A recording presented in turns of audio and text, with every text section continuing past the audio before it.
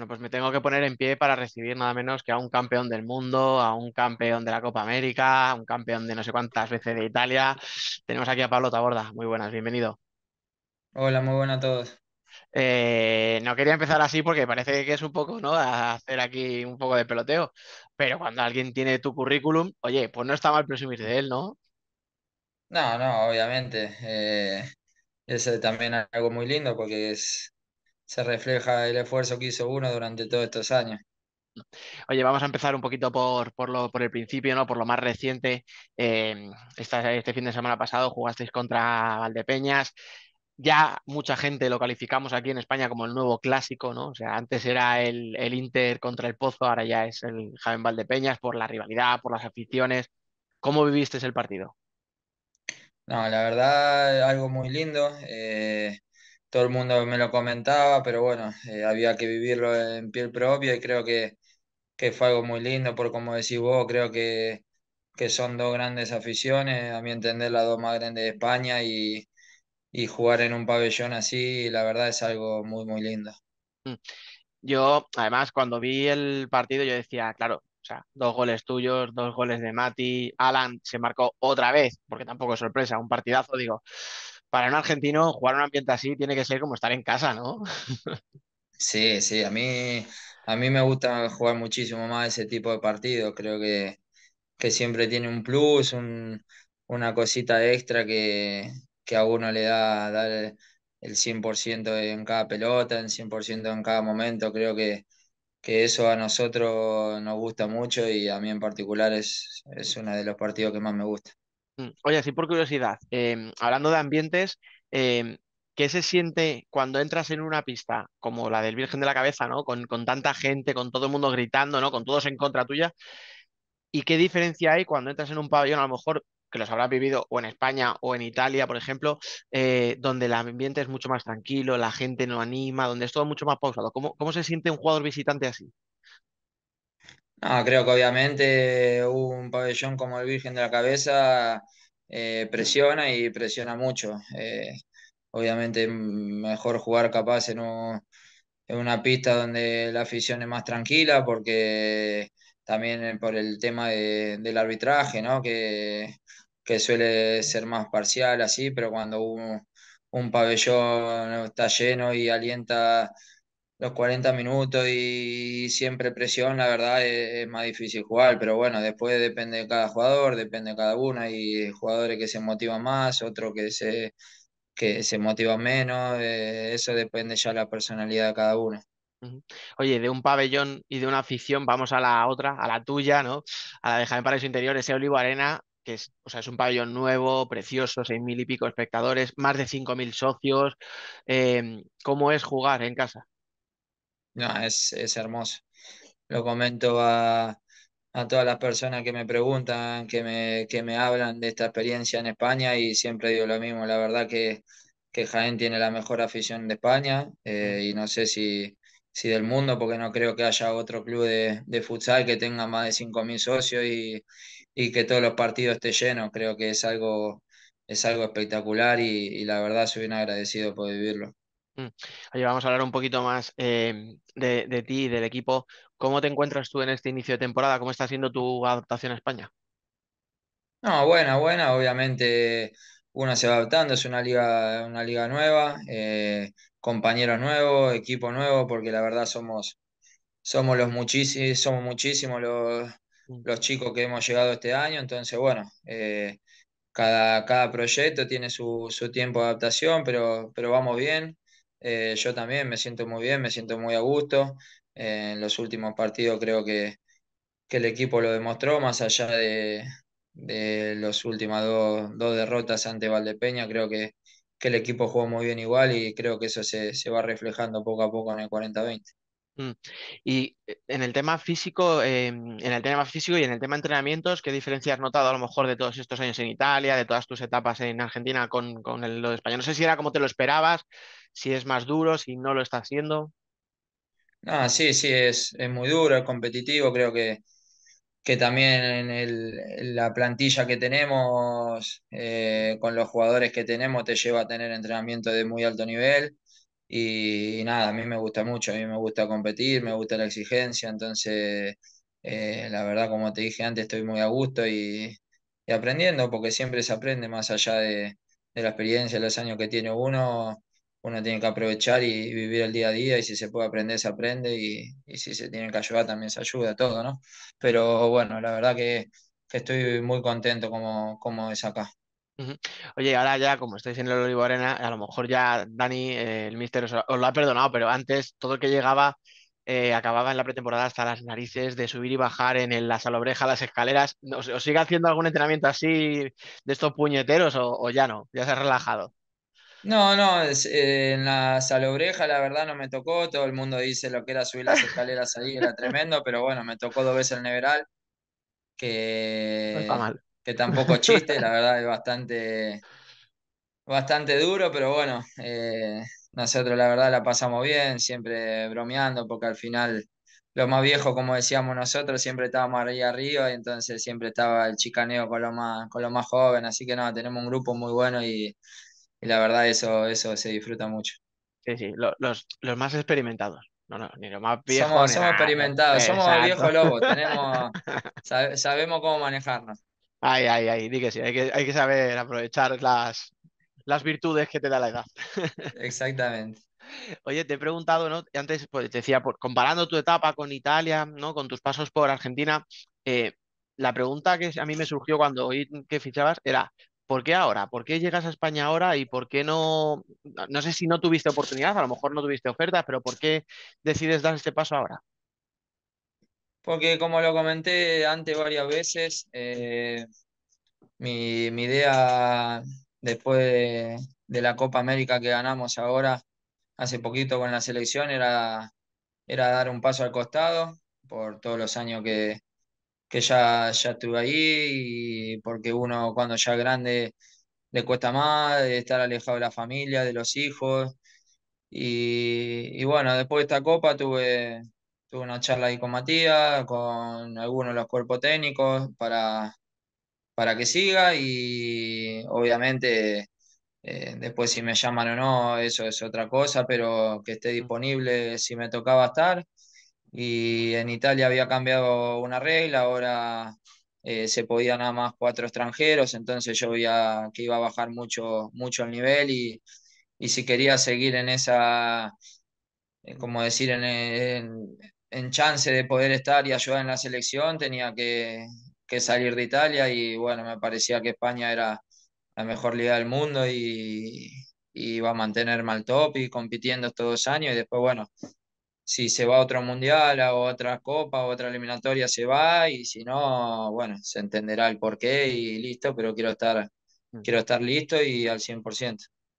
Oye, es verdad que cuando, cuando eh, antes de empezar la Copa América, ¿no? Salís tú y Cucho diciendo, ¿no? Que, que la Copa América va a ser lo último ya con la albiceleste. Eh, José, la gente, yo mismo, fíjate, aquí desde España, yo decía, hostia, o sea, me dio un vuelquito, ¿no? El corazón, porque dije, hostia, si es que sois, o sea, llevo toda la vida viéndoos allí. Eh, yo no sé si ese vuelquito que me dio a mí os dio a vosotros hasta el punto que dijiste, no, no puede ser, no, no puedo dejarlo, eh, necesito esta droga, ¿no? Un poco más. No, sí, obviamente. me- esa copa fue, fue muy particular porque la vivimos mucho con Cuso. El día de la final nos tiramos llorando todo, todo momento en el vestuario antes de entrar a la cancha porque sabíamos que que era el último, el último momento que íbamos a vestir esa camiseta y para, para un argentino es lo más lindo que hay. Y, y bueno, eh, él, él dio al fin y al cabo el paso al costado y, y bueno, yo como te expliqué antes, al final decidí, decidí quedarme, pero, pero sí es algo muy duro, es algo que te, te deja un hueco en el alma increíble, pero bueno, hay que también ser, ser feliz, saber lo que le aportamos a, a esta generación, lo que pudimos dar, sabemos que, que nunca dejamos ni uno por ciento afuera de la cancha y, y bueno, y eso al final la gente te lo reconoce y es lo que a uno lo- le llena el alma, ¿no? Mm.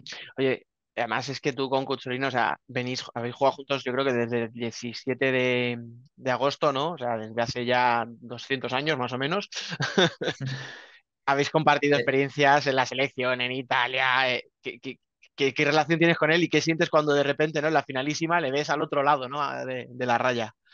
no, sí, es, eh, es raro, es más o menos también lo que me pasó con Matías, que también he com- compartido selección, he jugado contra en clubes, pero, pero bueno, con Cuso y con Maxi Recia tenemos una amistad de muchísimos años porque los tres empezamos con un sub-20 en el 2002, 2003 y hicimos todo, todo el camino hasta el día de hoy con, con la mayor, entonces creo que son muchísimos años y más que compañeros somos amigos y nuestras mujeres son amigos entre ellas y, y creo que, que es lo lindo que te deja este deporte al fin y al cabo. Mm. Oye, ya la última respecto al tema de la selección y esto que hablábamos. eh, cuando dijiste lo de, ¿no? La Copa América va a ser lo último, eh, luego has vuelto, ahora ya te planteas cuál va a ser lo último con Argentina, o ya prefieres no planteártelo y cuando llegue decir, bueno, pues creo que ya. O sea, no sé si lo quieres anticipar o prefieres ya no pensarlo. No, no, es que ya, ya la verdad es como decís vos, nunca se sabe, uno es consciente de, la edad que tiene también, entonces eh, nunca se sabe, o sea, capaz fue lo- la finalísima fue lo último que quieren que vaya, capaz no, entonces uno nunca sabe, pero entonces mejor no decir nada, como te dije antes, vine a España para seguir para seguir sintiéndome eh, vivo, con ganas de competir y la verdad que me- hoy en día me siento muy bien, me siento muy, muy cómodo, eh, siento que puedo seguir dando y, y aportando mucho y bueno, y eso al fin y al cabo es la sensación que quería sentir y, y acá estoy. que no es poco. Y ya volvemos ahora ya sí a la, a la competición doméstica, ¿no? A la liga. Vais octavos. eh, creo que el objetivo tiene que ser entrar entre los ocho primeros, con lo cual en ese sentido sí que estaría el objetivo cumplido. Más, ¿no? A lo mejor viendo que estaban de Peñas, Inter, ¿no? Que están fuera. Eh, Claro, pero sin embargo miras hacia arriba de la clasificación a lo mejor y ves a equipos, ¿no? Que en teoría, uh, Mantequera, ¿no? Manzanares, que deberíais estar por delante de ellos. Entonces, no sé si tienes una sensación ahí como un poco contradictoria o lo ves como algo normal porque esto está empezando, porque al final, oye, siempre hay sorpresas, no sé, ¿cómo, cómo valoras un poquito todo eso? No, creo que, que la verdad el, el campeonato español me sorprendió mucho porque si, o sea, si uno va y dice, este partido termina así, yo creo que miente, porque hoy en día cualquiera le puede ganar a cualquiera, se ve en la tabla, como decís vos, equipos capaz recién ascendidos, eh, que están ahí entre los primeros ocho y mejor que nosotros en la, en la clasificación, pero bueno, eh, creo que, que nuestro objetivo es estar entre los primeros ocho, porque como te dije antes, tenemos una plantilla muy, muy buena. Eh, pero bueno, toma tiempo, somos nuevos, hay que conocerse, hay que conocer también a Dani lo que quiere, lo que no quiere, y creo que, que como te dije antes, los últimos partidos se vio una mejoría muy grande y, creo que ese es el camino. Ahora el sábado tenemos un partido clave eh, para ver si, si podemos meter dos triunfos al hilo, que, es lo que estamos buscando desde hace tiempo, y ya colocarnos ahí arriba porque después, bueno, queda, viene la Copa, vamos a Barcelona y creo que, que tenemos que estar un poco mejor, pero bueno, por ahora el objetivo está cumplido, pero no hay que, no hay que acontentarse con eso, porque creo que tenemos un gran equipo para pelear en, en todas las competiciones que nos toque. Sí, han mencionado la Copa, es verdad que eh, entre los parones por por la selección que ha habido al principio de la temporada, eh, ahora vais a empezar a jugar entre semana, primero Copa, luego hay otra jornada entre semana antes de Navidades. Yo no sé si ahora estas dos semanas que hay o tres semanas que hay donde solo hay un partido, dices, joder, qué gusto, ¿no? Una semana normal, entrenar de lunes a viernes, preparar solo un partido, toda la plantilla, ¿no? Porque, joder, Sí, sí, hay a veces que, que el cuerpo después lo siente, pero, pero bueno, eh, estamos acostumbrados. eh, en Italia pasa mucho también y más eh, cuando juegan las selecciones. eh, hemos jugado hasta más de 60 partidos en un año con selecciones, Copa, Mundiales, Champions. Entonces creo que, que uno está acostumbrado. eh, pero bueno, obviamente, como decís vos, después si hay una semana tranquila, eh, uno, uno la aprovecha a recuperar y se siente bien, ¿no? Pero, pero bueno, también a veces es lindo jugar, jugar, jugar, porque al fin y al cabo a nosotros lo que nos gusta es el día del partido, así que Así que bueno, todo un poco. Tiene, cada cosa tiene su parte buena.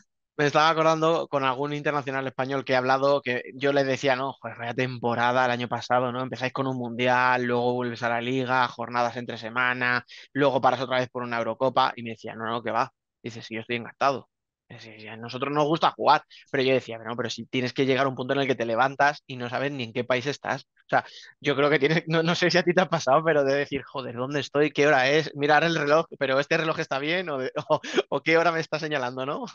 Nada, eso, eso, eso sí, eso pasa, no sabes ni qué día es, pensás que es lunes y es miércoles, y eso sí, pero, pero bueno, es como, como dice él, a mí también a veces me gusta porque sé que entrenás, descansás y jugás y siempre estás ahí en competición y, y tiene, tiene también su gustito después, pero bueno, a veces descansar también es parte del trabajo y viene bien.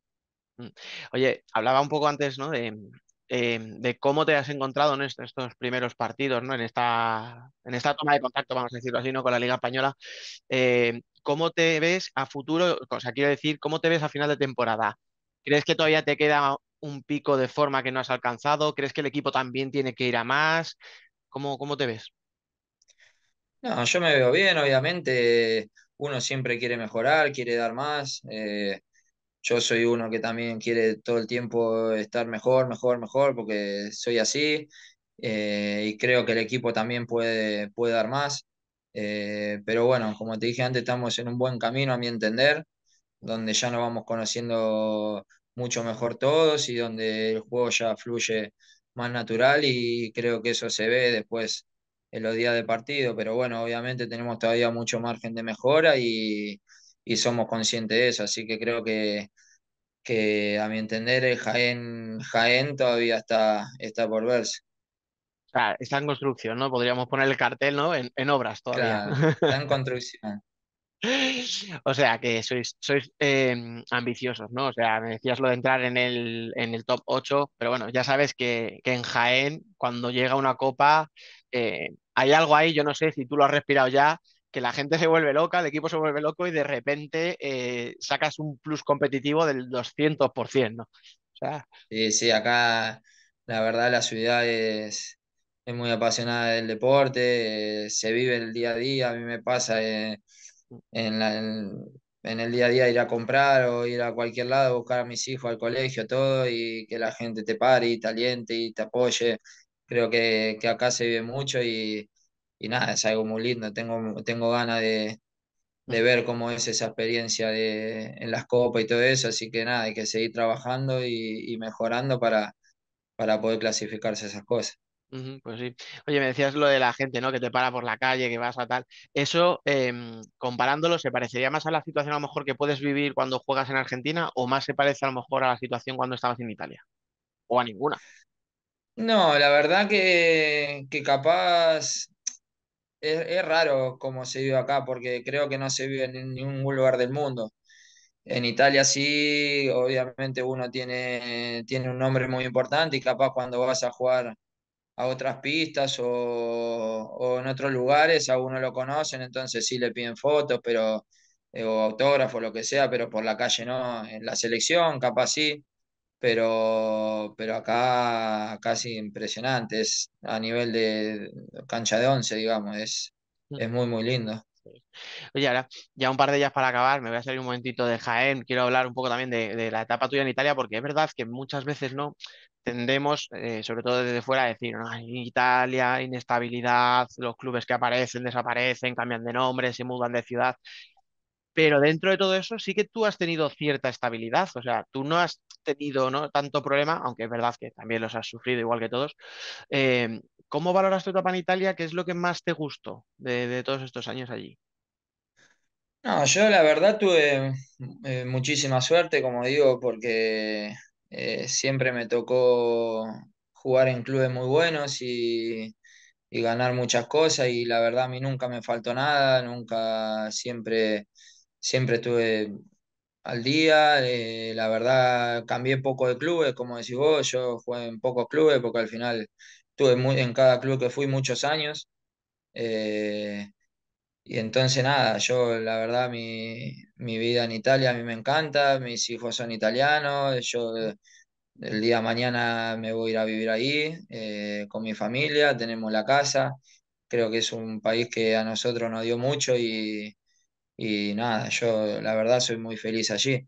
Eh, y como te dije antes, por suerte futbolísticamente también me dio, me dio muchísimo más de lo que esperaba porque eh, he ganado todo y muchísimas veces y, y nada, creo que, que estaré tocado con la varita, no sé, de la suerte, pero nunca, nunca me pasó nada. Sé que a muchos jugadores sí, pero, pero a mí por suerte en todos los lugares que fui estuve bien, a gusto y, y siempre, siempre en regla y siempre todo, todo al día, todo.